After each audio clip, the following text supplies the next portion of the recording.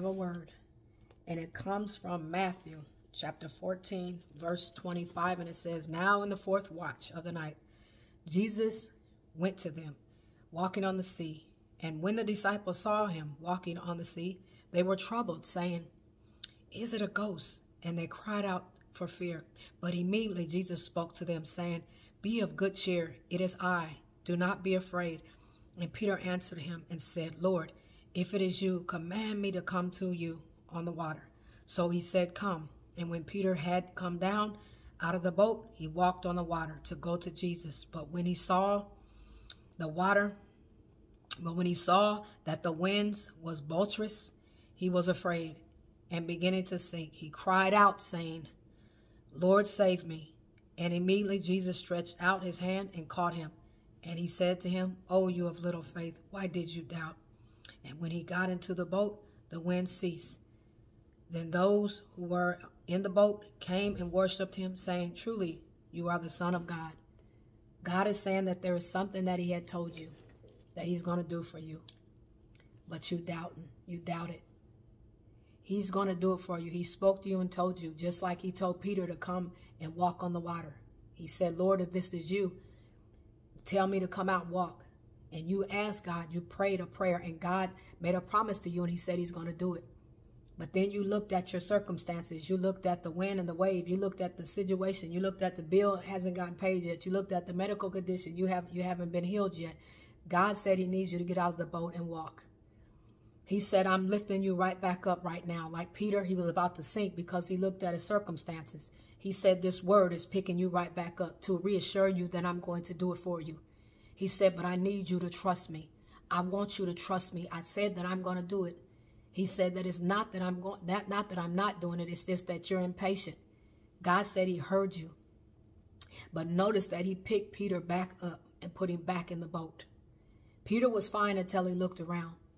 Do not look at your circumstances. Do not listen to the voices around you.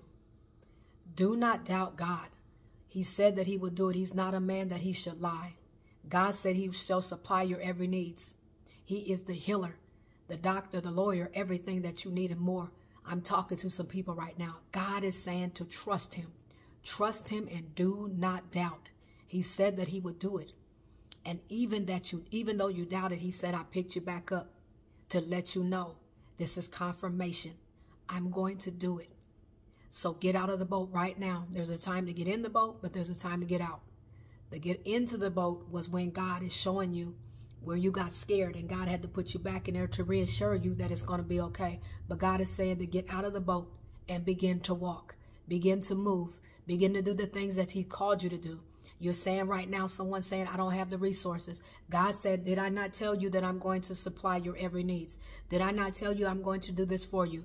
God said, do not look at your circumstances, but look in the spiritual realm. See, when you walking with Jesus, you got to you got to operate in the spiritual realm. You can't operate in the natural. The natural is what gets you in trouble if you operate in the natural. Because the natural going to tell you naturally what you see is natural and you don't see it yet, so then you doubt God. But God operates in the spiritual. And if you are of God, you got to operate in the spiritual. So God said he's going to do it. I pray that this message helps you. God bless you. I also want to ask, want to, want to uh, invite you to the Patreon.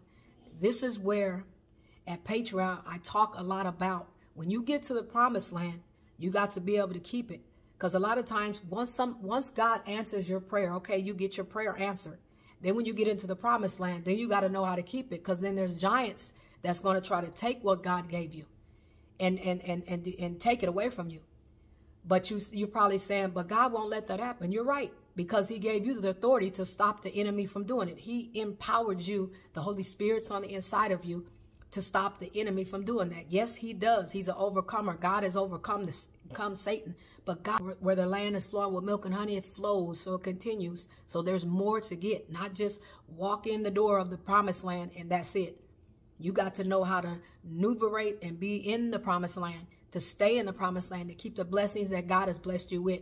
And a lot of things that we battle with, bitterness, jealousy, envy, anger, all those things can stop the flow of the promised land. Because if God gives you something and you don't know how to sustain it or the relationships that God is bringing to you because you're destroyed inside by what has happened in when you were a child or when things happen in your life, then, you know, we can destroy those situations. So I want to try to help you. Um, God bless you. Be blessed.